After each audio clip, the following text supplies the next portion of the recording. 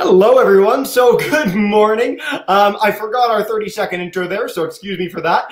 My name is Jesse, and I am with Exploring by the Seat of Your Pants. If you're joining us for the first time, we are all about bringing conservation, adventure, and science into classrooms around the world. And if you're coming back for like the 10th time or the sixth time on this epic series, well, then welcome back. It has been such a pleasure and privilege, personally and professionally, that's a lot of peas, to highlight such amazing people from around the globe and amazing places. So, as you guys may know, this is our cross Canada virtual road trip. So we have been out with Parks Canada and the Royal Canadian Geographical Society on five epic adventures so far. We've gone up to the Northwest Territories to Nahanni National Park and to Pingo National Landmark. We've gone to Quebec to Grosse Ile and the quarantine site there and Saguenay St. Lawrence Marine Park and all the way to the East Coast to Kouchibouguac National Park. It's been such a special opportunity to hear from amazing people, see conservation stories in the field, and explore some of Canada's Canada's most incredible landscapes and conservation work. So today we are going far, far away from Kouchibouguac to the other coast on the west end of Canada. And we are joined by the team at our next spot, which is the Fort Rodd Hill, and Fisgard Lighthouse National Historic Sites. So we're going to meet two very different families today who call the Juan de Fuca Strait home. We're going to join Parks Canada interpreters at the oldest permanent lighthouse on the west coast of Canada.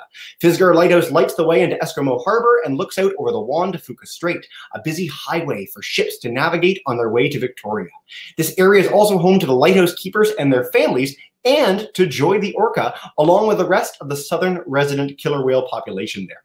While the families of Fisgard lived ashore in the lighthouse, Joy and her family continue to call the waters of the Juan de Fuca Strait home. So today we're going to explore this special place and learn about some of the benefits and challenges of living in this unique ecosystem. I also want to highlight before we get underway, of course, we have live questions today. It's going to be a lot of fun. We're going to get more questions than we can possibly answer. So I encourage you all to check out our Padlet for today's program where you can share more questions after the broadcast is done. Without further ado, I'm going to turn it over to Emily. Thank you so, so much for joining us and take us away. Hello, bonjour. My name is Emily. I'm a Parks Canada interpreter.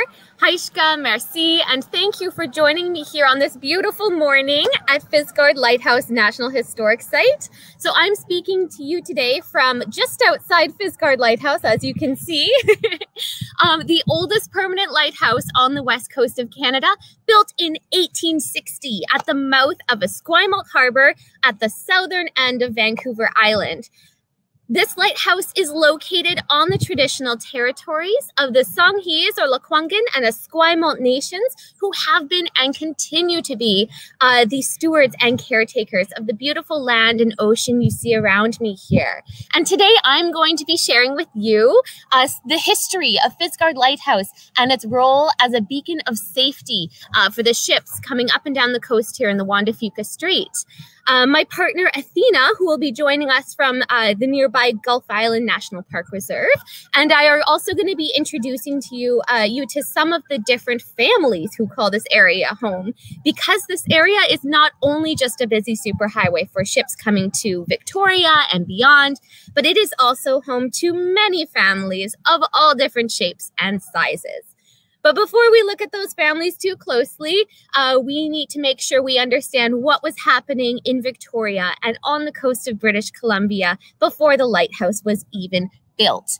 And so our story begins with the use of uh, the waterways here as highways for trade and travel. And the use of the uh, oceans and rivers around here as highways began with the First Nations peoples of this area. And so, as I mentioned before, I am standing today on the Coast Salish, uh, on the territory of the Coast Salish peoples, the Lekwungen or Songhees, and Esquimalt First Nations, who have been here since time immemorial. And the First Nations of these lands were closely connected to other Coast Salish communities and other communities all up and down the coast, uh, traveling the waters in the large, strong dugout canoes.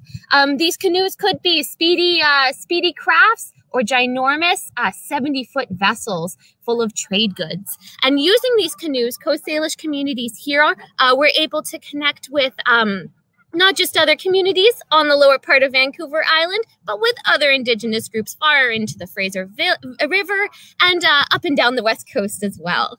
And something you'll see throughout this presentation is that the ability to access and navigate the ocean has always been super duper important for all people here living on the coast.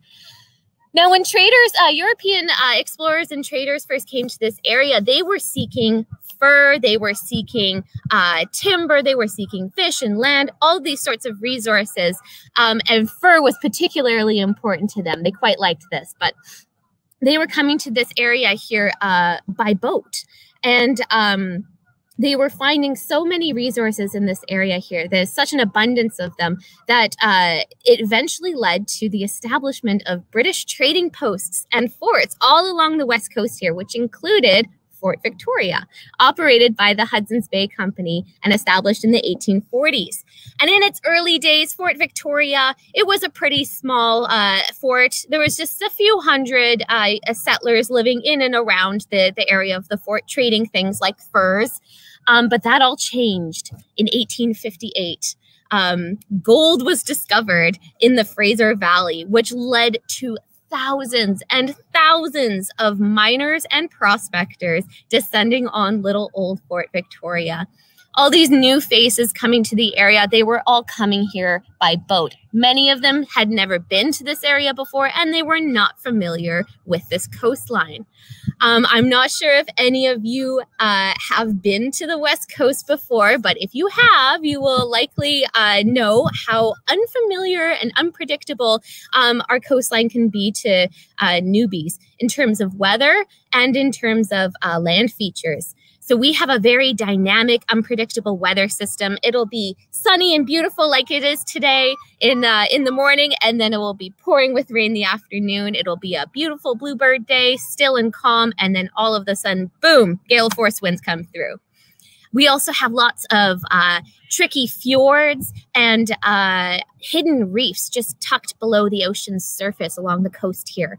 And so, with all of these obstacles, um, and because they were quite unfamiliar with this area, the huge increase of boat traffic coming uh, to the coast because of the gold rush led to a huge increase in shipwrecks. So many so that this area was dubbed the graveyard of the Pacific claiming over 2,000 wrecks and 700 lives, stretching from the northern part of coastal Oregon uh, all the way up past the Juan de Fuca Strait, right here where we are, and all the way to the top of Vancouver Island.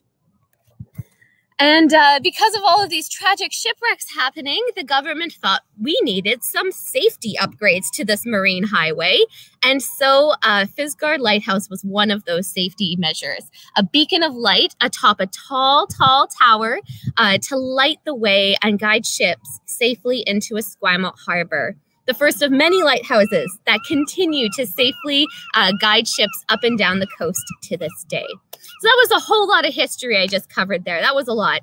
Um, but I hope now you can understand how this marine highway led to the development of Victoria and Fisgard Lighthouse. Uh, but how was this lighthouse operated? Who called this place home? It's a it's called a lighthouse, so that implies that there was someone living in it. Um, and whenever I talk about the lighthouse to people, I always like to ask them what time they go to sleep at night. And usually my answers are like, eight o'clock, nine o'clock for early birds. I'm more of a night owl myself. I go to bed closer to 11. Um, but if you were a lighthouse keeper here in uh, the 1860s when Fisgard was built, you had no such luxury. You had to stay up all night to keep the light at the top of the tower lit. And if uh, that was an incredibly important job, if it wasn't done properly, boats could get lost and they could crash.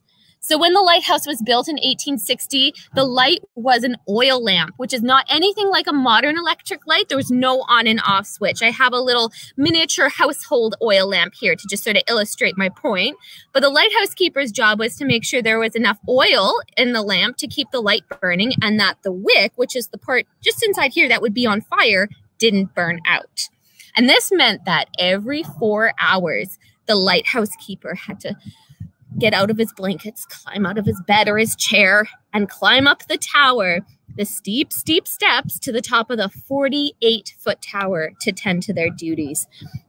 They also had to make sure the lens of the of the light was super clean. The fire would often create soot that would fog up the lens. They had to clean the glass as well every four hours with delicate brushes and cloths. They had to be so careful with these pieces of equipment because it was it was very important to be gentle with this equipment. If anything happened to it if it broke that would be bad news everything took a lot longer back in those days there was no amazon prime or next day shipping um, so if you needed a new lens because you broke it, you would be waiting weeks and weeks for a replacement to come by boat. And staying up all night to tend to the light, that doesn't sound like an easy job, huh? So, uh, lighthouse keepers were often living here with their families, who took on the role of assistant lighthouse keepers. And the assistants also had to clean, they had to cook, uh, they had to keep everything neat and tidy in the house so it could run in, as smoothly as possible for day to day maintenance. The spouses or wives of the lighthouse keepers often took on these roles and were important in making sure everything at the lighthouse ran smoothly. They kept it all, they kept it shipshape.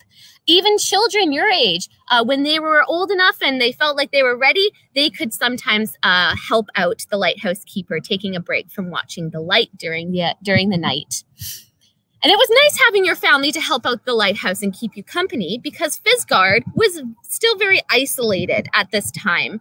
Um, so uh, the families here had to be very self sufficient. They had to make sure they had enough firewood and coal to burn in their stove, or they would get cold or they couldn't cook their food. And if they didn't have enough food, they couldn't just go to the grocery store and they would go hungry. So they relied on shipments that came to Fisgard every three months. They would send food by ship. The government would send food by ship uh, every three months, and that contained most things they needed. Uh, things like coffee, things like sugar and flour, beans, um, all those sorts of good necessities. But that's like if you only went grocery shopping once every three months. That's a huge amount of time waiting in between shops. And so the families of Fisgard looked to the ocean and beaches around them uh, to supplement their uh, their diet. So our beaches here and our oceans are filled with yummy, yummy things like uh, fish and clams and mussels and crab. Mmm, tasty. and so lighthouse keepers, uh, some lighthouse keepers even were quite ambitious. They had small gardens um, on the on this little rocky island here where they could grow things like lettuce, potatoes, and carrots, fresh vegetables to supplement the rations they got from the government.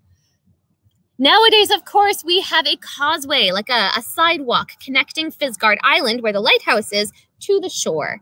We also have an acrylic lens and an electric light, so uh, it does not require such extensive cleaning and maintenance, and it can turn on and off automatically. And with these type of upgrades, there's actually no need for a family to be living at the lighthouse anymore.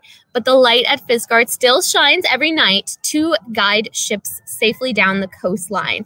And now we'll be heading over to Athena's video. She's going to be talking about a family that still calls this area home. Fantastic, Emily. What enthusiasm. That was great. I still can't get over a beautiful bluebird day. Uh, I'll yes. how nice is that? I'm going to bring in Athena. And then, Athena, if you want to start off and just dive in, I can turn it over to the video or give you a second to chat, whatever you'd like.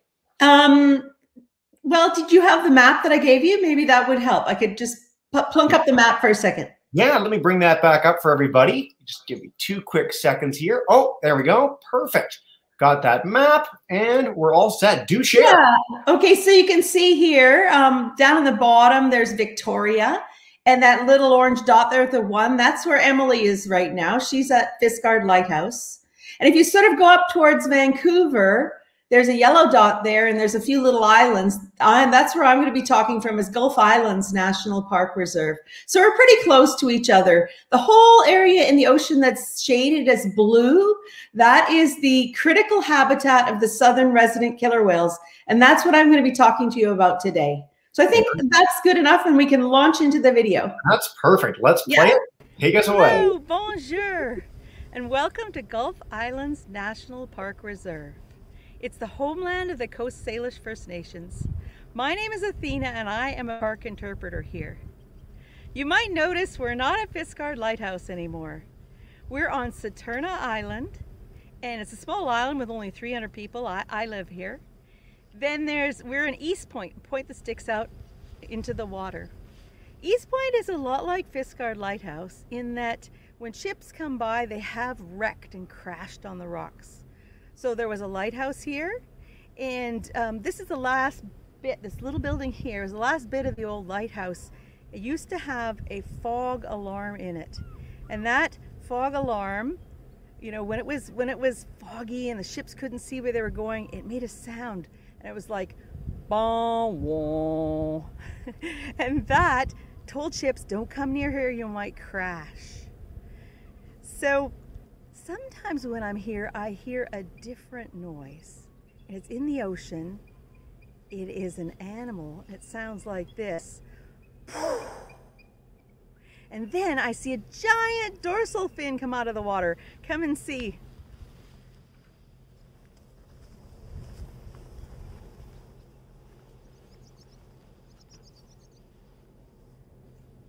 This is life size. This is a, this dorsal fin. So what animal is this? Your guess?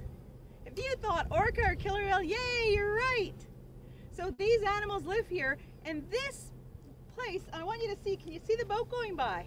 Can you, is just like Emily said, it's a highway for boats. There's a giant ship going by, it's loaded with cargo, and lots of ships come and go from here. My question is for you, is what happens when a home for animals like this killer whale turns into a highway for boats? That's my big question. But first I want to talk about killer whales for a minute. So they are, they're black and white, and they have a big dorsal fin. There's lots of killer whales all over the world. Every ocean in the world has different types of killer whales. The killer whale I'm talking about today is one, one type. It's called the Southern Resident Killer Whale.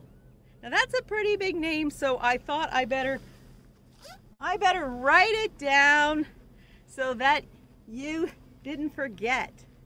So Southern Resident Killer Whale. This is one type of whale that lives in the waters around here. And we're gonna look at one particular little whale of the Southern Residents. And her name is Joy. And it, you can see this is a picture taken by Monika Wieland Shields just on another little island over here. She was standing on the shore and the orcas came by and she took a picture. And look, there's little Joy when she was a calf. She's so cute. This, she's right beside her mom, Matia. And southern resident killer whales stay beside their moms their whole life long. Now, Joy isn't a baby anymore. She's nine years old, and here's a more recent picture of her. There she is, grown up a bit. But look, she's beside her uncle Mega, and Mega had a big, huge dorsal fin. So we're going to think when we we talk about what's happening here in the waters about little Joy and how it, this highway of ships impacts her and her life. So let's go. Let's just go over here to Boundary Pass. So we have the pass behind us.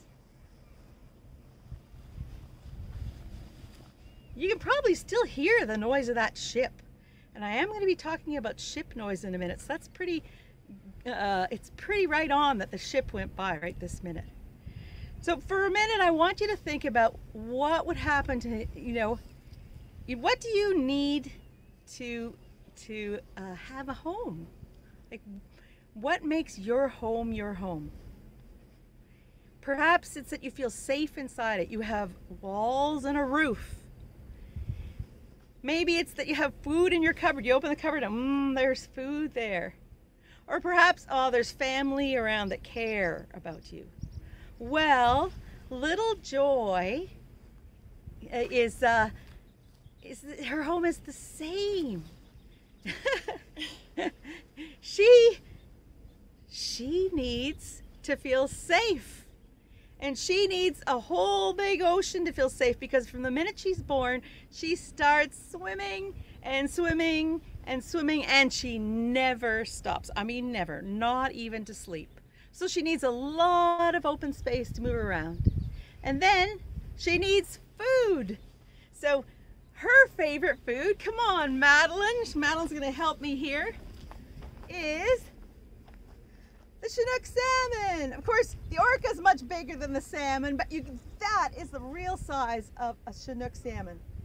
And it's the biggest and fattest salmon on the west coast. To fish for her food, see if you went under the water behind me and went way down deep, it would be like, it would be very, very dark, like you'd closed your eyes. So how do you find your fish? Any ideas? Joy uses her sense of hearing, echolocation.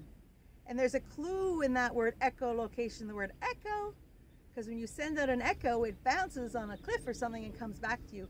Same thing, Joy sends out a click from her melon. It goes out, it hits the salmon, it comes back, and she hears it in her jaw. So let's try this. Where's the salmon? Where's the salmon? Where's the salmon? Where's the salmon? Oh, she hears it, and there it is. And then she swims and gobbles it up. Of course, she's much bigger. Thank you, Madeline. So, Joy needs to feel safe. She needs food, and she needs family. Because, uh, you know, southern resident killer whales swim very, very close together. And when they get a salmon, they don't just gobble it up. They call their family around and they tear it up and they share it. That is how a little orca like Joy can grow big and strong, even though she's maybe not as great a fisher as her relatives. So here we go. Now we have this problem of the highway for ships coming through. And I want to tell you, this is not a small problem. This is a super highway. There's 7 million people living in this area between Victoria, Vancouver, and Seattle. And that ship that you saw go by, it is bringing stuff from China and Japan. It will offload onto trains. The trains will go across Canada. And I bet you anything, you probably have something in your home or in your school that came from those ships. So it is superhighway going through, and guess what's happening? It's really impacting the southern residents, and they are becoming. It, it's it's not good, and I'll tell you some of the things that happen. They are not safe. Here's a here's a ship, and guess what happens? Sometimes southern residents get struck, or orcas get struck by ships, and that's and it kills them. The other thing is, so ships are very noisy. They have motors. And now I want you to come back. Come on back, Madeline, with the orca. So here's little Joy. She's trying to find her fish. She's sending out her echolocation. Here she's getting close, but there's a really loud ship. She goes, where's the salmon? Can't hear anything. Where's the salmon? Thanks, Madeline. You can see there's a problem. It's too noisy with the ship motor for the echolocation to work. And scientists have found that southern residents are not able to fish as much when there are boats around.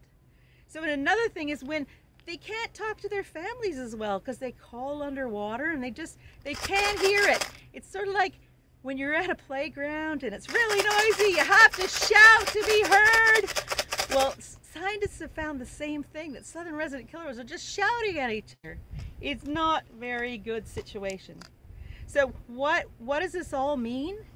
Ooh, this means that southern residents are in trouble. Their numbers are going down and they are endangered. This means they're at risk of disappearing forever. So we don't want this to happen. We, we call them a species at risk when they're endangered. I'll tell you, I'll show you something. I had to print it out because it's a sad number. That's how many southern resident killers whales are left. Only 75. And there used to be more. So their numbers are going down. And I bet in your school you have more students than this. Southern resident killer whales do not breed with other killer whales. So this is it. This is all there is of Joy and her, her extended family.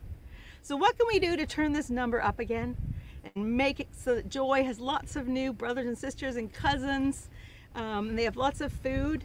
And safe homes. Well, we can do it. It's just going to take all of us working together. So I'm going to tell you something that Parks Canada is doing. Um, to, and I'm just pointing that way because we need a sign. It's taped to the back of the dorsal fin.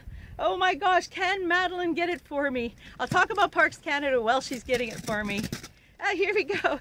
Um, so what is Parks Canada doing and what can you do to help southern resident killer whales? Well, Parks Canada, you, you know, you might think of parks as being just on land, but my park is here in the water too. These waters are part of Gulf Islands National Park Reserve. And the same with the other two national park reserves on the west coast of Canada. They have water inside park boundaries. This means that Parks Canada is responsible for helping the species at risk on land and in the sea.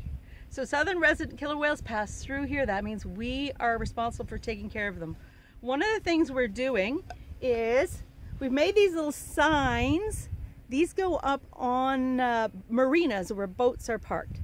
And they let boaters know, endangered, keep your distance, it's the law. So it's telling boaters to stay away from killer whales. And this is going to be good because it'll be less noisy. It's kind of like those signs on the highway that say watch out for deer or watch out for bear. Well, this is watch out for killer whales. And what can you do to help? Well, if you're on the West Coast, check out a website called thewhaletrail.org. And it tells you great places to watch for whales on land, like right here at East Point. If you're not on the West Coast, you can learn more about southern resident killer whales. I'm going to put some links there in the chat so you can find out more and learn about the species at risk in your backyard, in your area, what you can do to help them. So I want to finish here by saying that when a home for animals becomes a highway for boats, it is not a good thing. It, it has created a species at risk, the southern resident killer whales. But we can do things to help Joy and her family so that those numbers go up and our oceans are healthy for them. Thank you very much for joining me on this virtual school tour and I will be I will be here to answer questions. Bye you guys. Oh, Athena and Emily, that was spectacular. Professional detachment completely out the window. Teachers in the chat have been saying this is the best presentation they've seen, and we've done a lot of presentations. So, way to go. The history at the beginning there, that amazing story of the whales, the diorama with the scarily large uh, fish compared to the whale. That was spectacular. Thank you so much for all of that. Um, I've been putting all the links in the chat. We've seen whaletrail.org if you want to find out how your classroom or group can help protect resident killer whales. Do check those links out. We've also got the Padlet up for the many more questions that are going to come in that we can possibly answer in one broadcast. But with that, I'm going to dive in with Q&A. We've got tons of live groups uh, in YouTube, over 12 classes around North America. We've got our groups live, so it's like several hundred kids, 300, 400 kids from across the continent. Um, well deserved for such a great talk. Let's dive in. Athena, I know we're going to get a lot of whale questions, so I'm going to leave you in the background for and I'll we'll, we'll come. We're going to get so many, so I'm going to give some to Emily because we had some great ones in the chat, and then I'll come to our live classes in just a minute. So Emily, our first question is from Mr. Sellen's class. Simon at Pinecrest Public School wants to know what salary, uh, if any, did lighthouse keepers make? Oh, that is a very good question. Um, so, lighthouse keepers would not make very much money. Um, back in the 1860s, they were making um, around, um, I would say, a hundred to two hundred. Uh, oh, sorry, sorry. Four hundred uh, dollars per per annum, so for a year. Um, there uh, there's a couple of cases though which is really interesting where the wives of the lighthouse keepers um, would also be paid as assistant lighthouse keepers. Um, it was a pretty male dominated field uh, for a long time. So the fact that the wives were um, being compensated for all the hard work they were doing as well is pretty interesting too but they would make like under under a hundred. it was not very much. that is very interesting, though. Fairly unique at that time in the world. So very cool. All right. Indeed, yes. One more lighthouse one, and then we'll take it to our live classes. Miss Hill, I'm coming to you first in just a minute. But Miss Smith's grade four fives want to know what would happen if you ran out of food before the next delivery. Oh, that is a good question.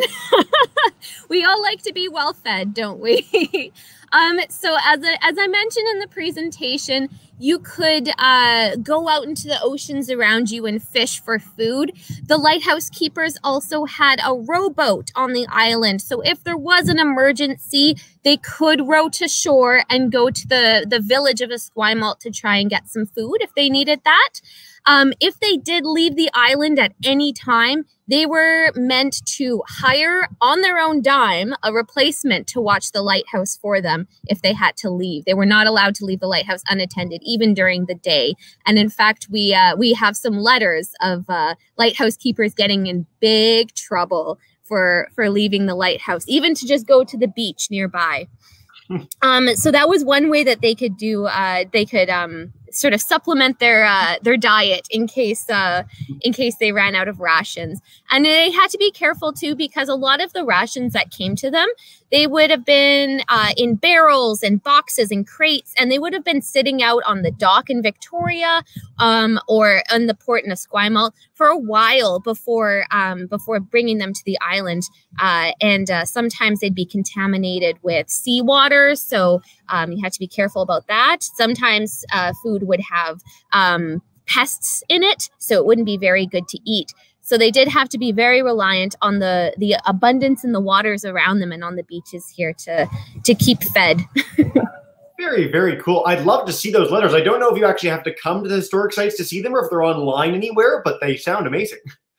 Yes, we actually have a really amazing archive of, of uh, letters and um, other documents from the lighthouse, but uh, you unfortunately they're not digitized, so you'll have to come we'll, visit. We'll have to come when uh, the world opens up again. We'll all get on a plane and come see you guys. How cool is sounds that? Sounds good. Can't wait to see you all. well, thank you so so much, Emily, and we're going to come on to our live classes now. Miss Hill's class is joining us in Keswick, Ontario. Uh, if you want to unmute your microphone, come on in uh, and uh, go for it with a question. All right, thank you. We're so excited to be here. This has been a wonderful presentation. Um, and I have so many questions, but we'll start with this one from Avery. She's wondering, I guess this is for Emily.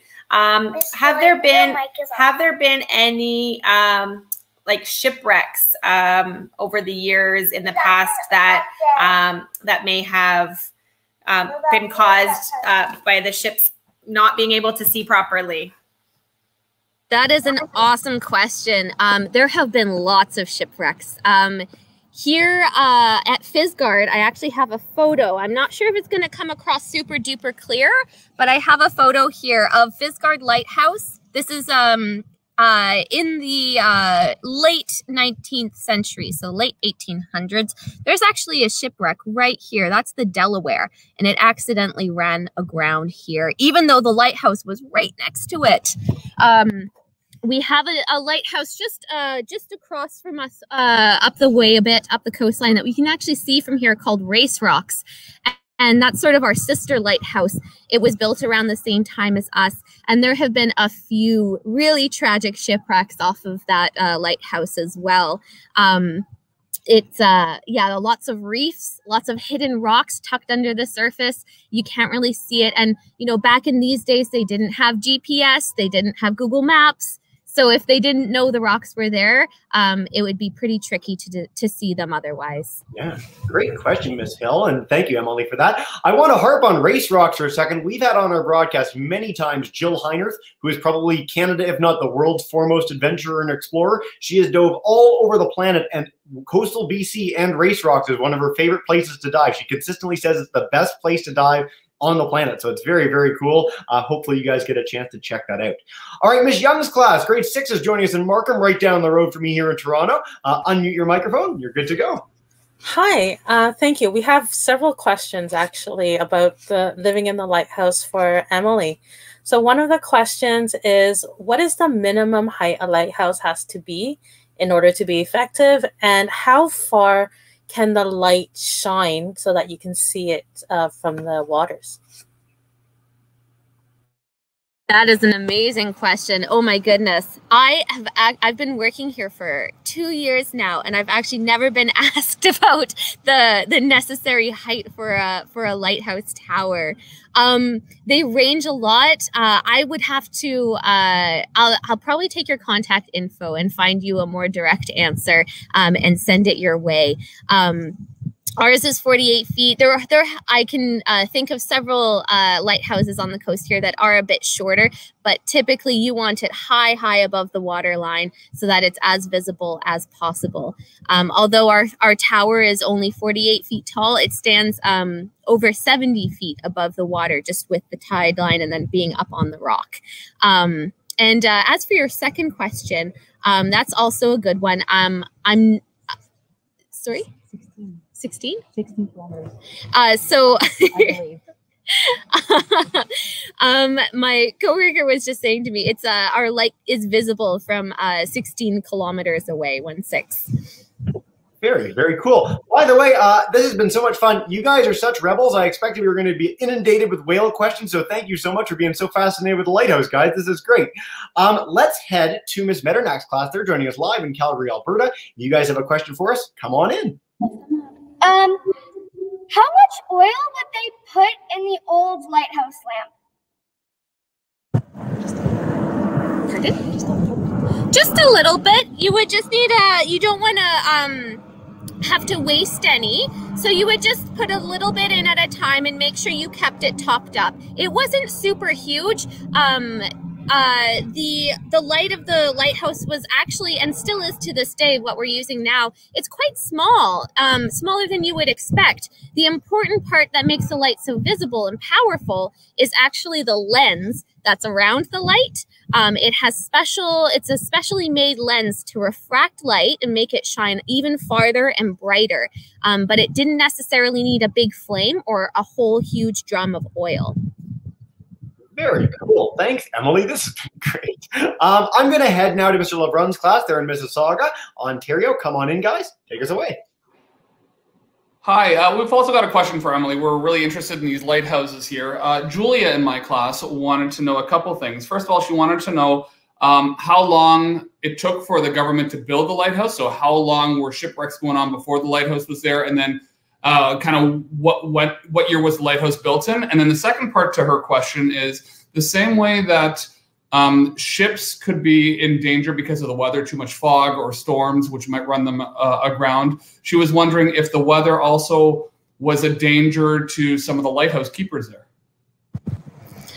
Awesome questions. Thank you. Um, to your first question, there's uh, there have always been shipwrecks and disasters happening on the ocean here. We only have um, records of 2000 happening, um, but they were going on uh, long, long before. Um, tragedy on the ocean was happening long, long before uh, European settlers were coming here, and it um, uh, so it was when Victoria, as as a Fort Victoria, as a settlement was established, and then with all of these, within a few years, all of these uh, miners coming here for the gold rush, that was when they noticed a drastic increase in shipwrecks, um, just because there was more traffic here.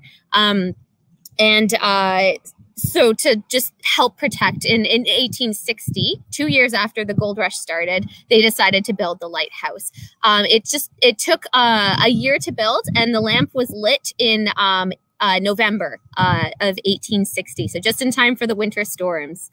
And can you repeat what the the second question was there? I'm sorry, I uh, forgot. Yeah, yeah no. Um, Julia wanted to know if there was any, uh, if the weather there was at all dangerous for the lighthouse keepers? Were, were they at any risk from the bad weather that would uh, run the ships ashore?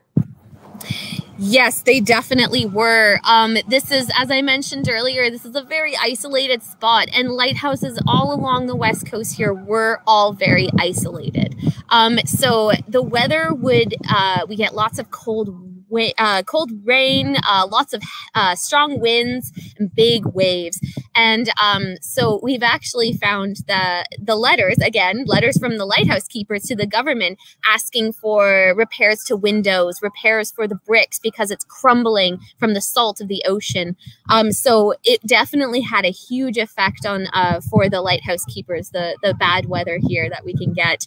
Um, in some cases, too, it would um, uh, it would just yeah, it would cause uh, sickness and and um, then they'd be isolated here and unable to go to the hospital. So it was a, it was a very difficult life. I think we kind of romanticize the idea of living in a lighthouse but it was hard work it was cold hard work and it was very isolated Fantastic, guys. Um, all right, let's go into another round of questions. I'm going to inspire some whale action here by taking a few from YouTube. So Miss Smith's class wants to know, Athena, uh, what's the life expectancy of an orca? How long do they live? Come on. Um, it's different between male and female orcas. So um, females live can uh, average of 50 years up to 90, and males don't live quite as long, so 30 to 60 years. Yeah. Fantastic. And then Ms. DuPont's class wants to know how are boats supposed to avoid the whales? You talk about these like neutral superhighways. Uh, is there a way that we can prevent boats from hitting whales altogether? Yeah, there's a really great system. It's called a whale report app.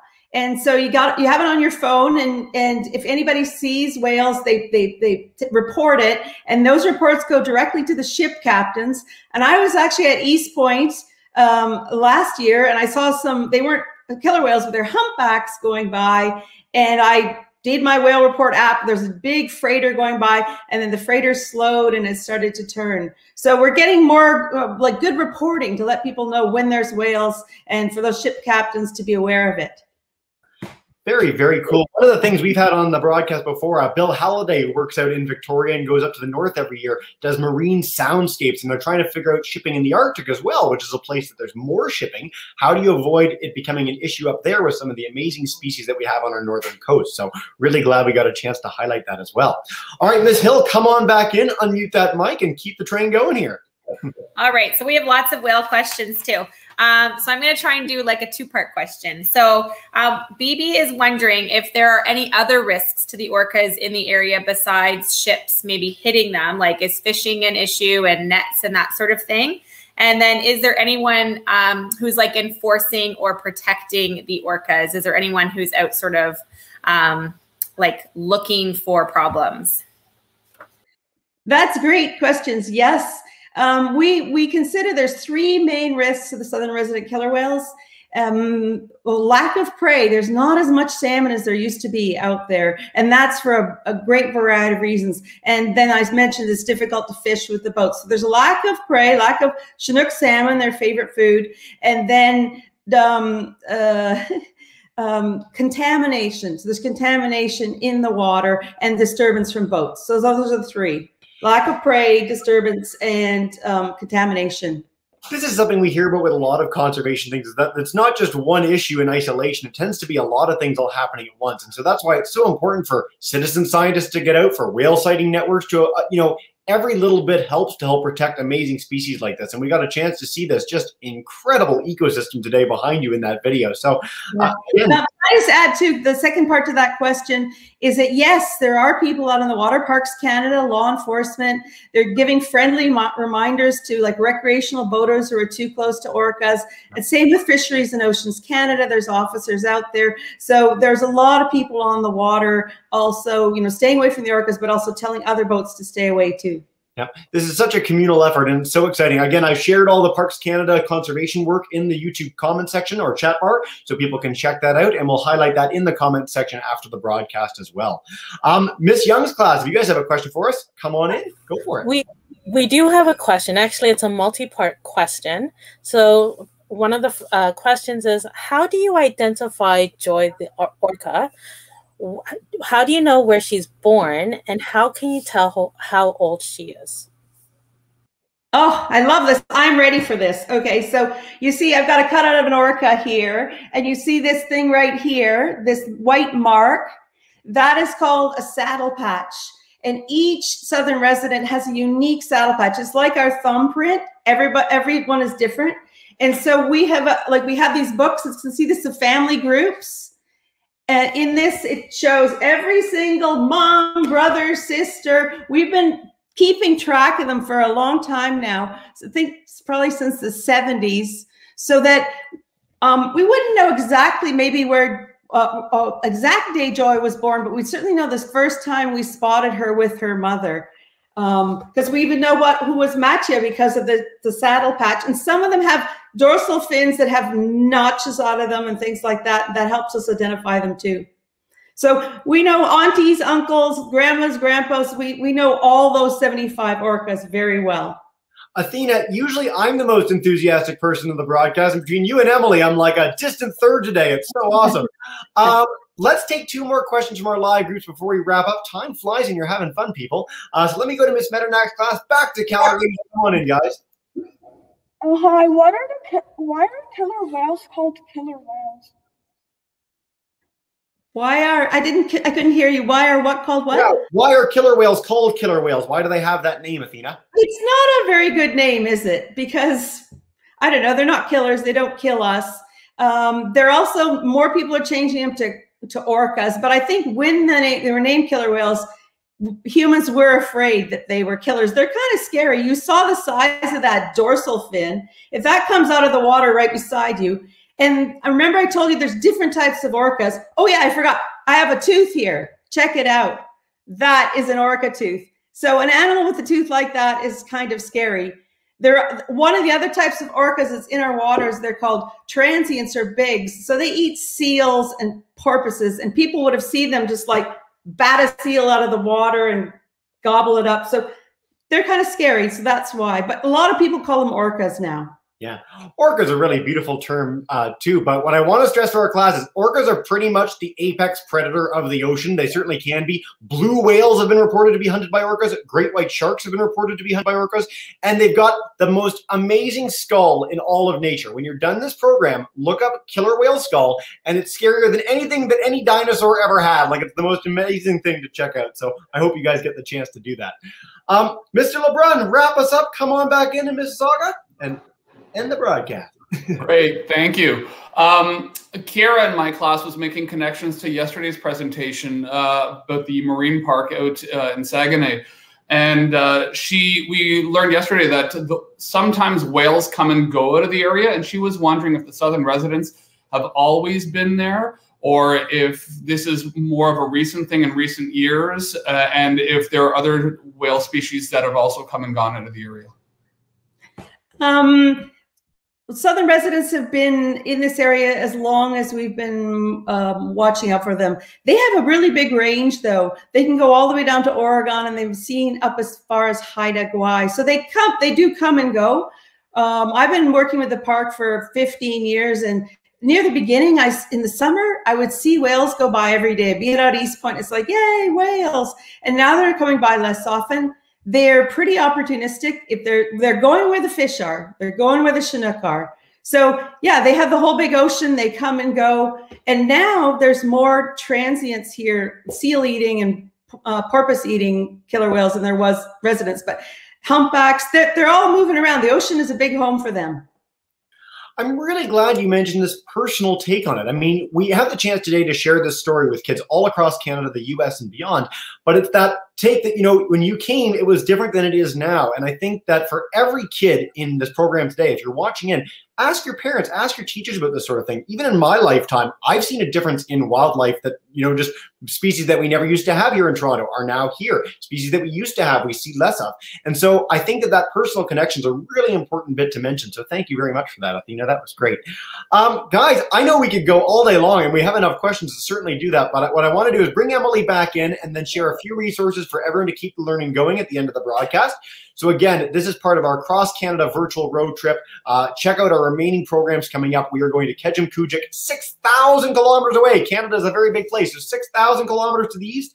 Uh, tomorrow's program at 11 and 1. Uh, we're also doing this program in French in just an hour and a bit, so stay tuned for that. As I said at the top, this is a partnership between us at Exploring by the Seat of Your Pants, the amazing team at Parks Canada, who you got a chance to hear from today, and of course, the Royal Canadian Geographical Society. Finally, I want to bring up the whaletrail.org again, which Athena mentioned in her awesome video. So check that out. It's a great resource. The YouTube chat bar has some more great ways to, to keep you know conservation going. And if you want to share more questions, and I know you do, head to Padlet, Exploring by the Seat of Your Pants, Lighthouse. Athena and Emily are going to be on call for the next three weeks straight just to answer your questions. They're doing nothing else other than checking what you guys are sharing. That's what I was told. I don't know. Um, ladies, this has been so much fun. Thank you so, so much. Is there any last message about these places that you guys want to share with us before we end the broadcast? I'll leave you to it. Um, I, I can just say, uh, I hope that this just sparks your curiosity to explore places, learn their stories, and learn about other species um, and their lives. So nice to be with you this morning. Yes, thank you all for joining us so much. It's been a pleasure speaking with you all. You asked some amazing questions, and uh, I can't wait to see some of your faces uh, out this way when we're able to travel more. Fantastic. I'm hoping to come out this year myself, so I'm really excited. Until then, stay safe, stay healthy, everybody. And what we do at the end of every broadcast, ladies, I'm going to bring in all our groups. Miss Hill, Miss Young, Miss Metternach's whole group of kids, and Mr. LeBrun. Join us in saying a big thank you and goodbye. Farewell, everybody.